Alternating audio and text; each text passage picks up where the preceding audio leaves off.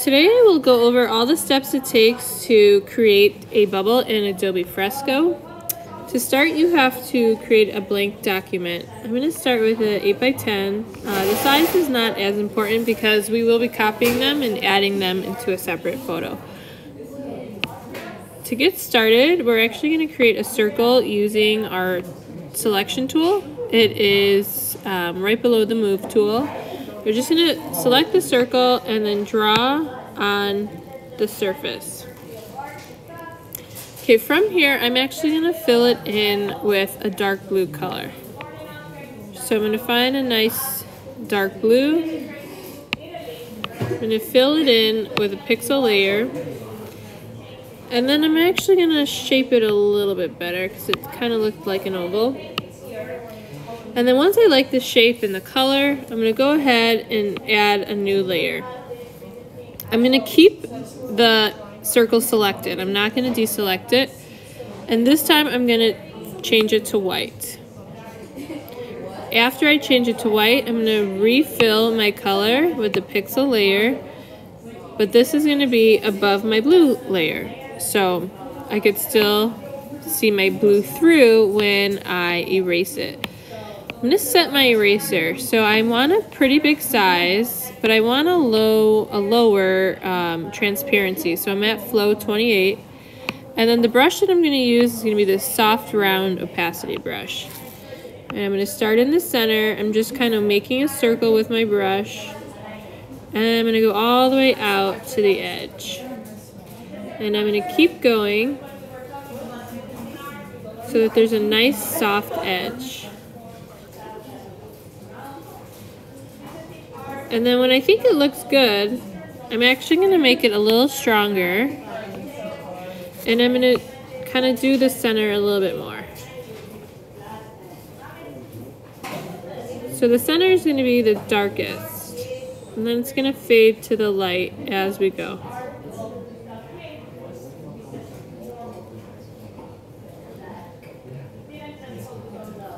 Okay.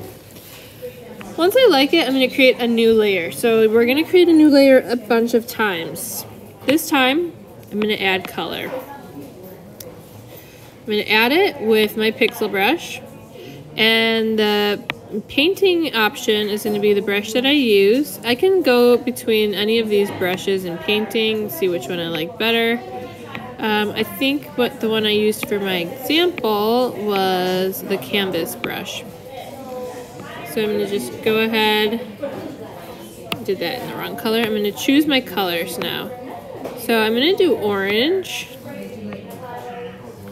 And I'm just placing them randomly. I'm going to do like a little bit of red, not too much. I'm going to go down the wheel. I'm going to do some pink. Maybe I'll put the pink in between. Maybe I'll do like a brighter pink as well.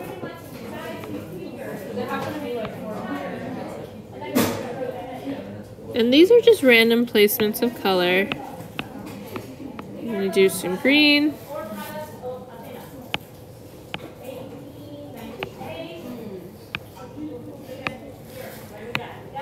And blue.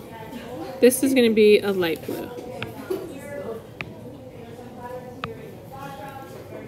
Okay, so now what I'm going to do is I'm going to go back to my eraser tool. I'm to make sure it's set correctly. Soft brush. Low flow. Medium size. And I'm going to erase the color this time.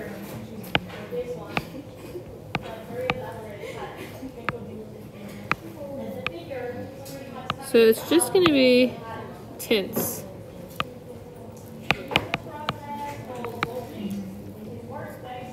I can repeat that step as many times as I want. So maybe this time I want to only do green colors. So I created a new layer. I go back to the pixel brush. I add my green colors. And then I erase them so that they look like they blend better. I could do that again with another color. So I can add again. This time I'll do my orange color. And I add orange. And then I'm going to erase the areas that I either that I think I did too strong or maybe I did it too big. And I can just keep on going, do that again. Maybe this time I'm gonna make a new layer and do pink. Bring some of my pink back. And then erase. So this is all just giving it a little bit of dimension, colors. Um, and you can do that as many times as you need. The last time I do it, I'm going to do it again in white. And this time, I'm going to use more of a textured brush. So maybe this time I'll use the Cezanne brush. And I'll bring the size down.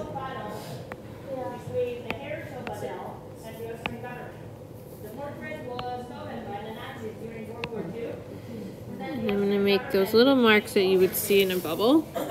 And I'm also going to soften it with my eraser tool.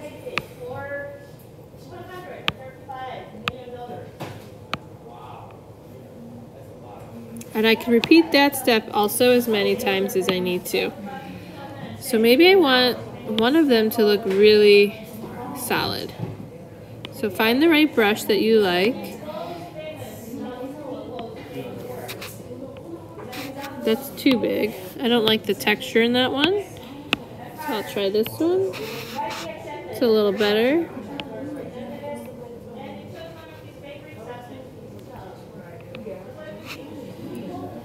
And then erase what you need.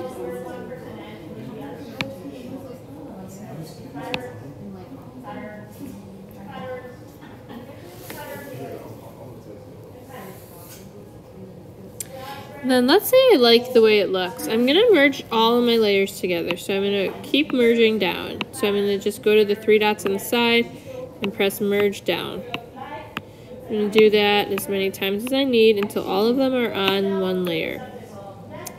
From here, I'm gonna press my three dots and I'm gonna press copy selection. So what it did is it copied my bubble.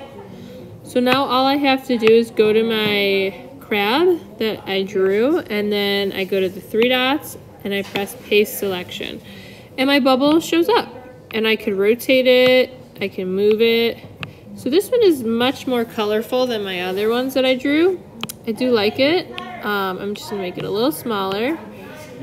And I can add this as many times as I want. So once I like the location I can actually just go to the three dots and press duplicate layer and what that's going to allow me to do is just keep dragging them out and making them various sizes. So maybe these will go in front of some of my other bubbles.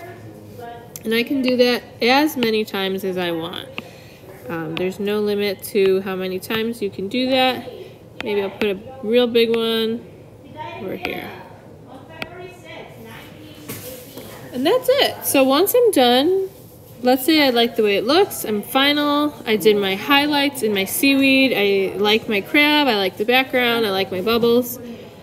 Um, I could go ahead and go to publish and export, and export as a JPEG in high quality. And then I go to export, save image. Once it's saved, I can go and look at it in my photos. And then what I did with mine was I just cropped out the red. So I went to edit, crop. You may or may not even have a border that you need to crop. So if you don't have one, that's good. So I'm just cropping out my border. And then I'm finished. So good luck finishing. That is the last step um, to our character. Make sure you add bubbles. Uh, I will be grading looking at your use of bubbles.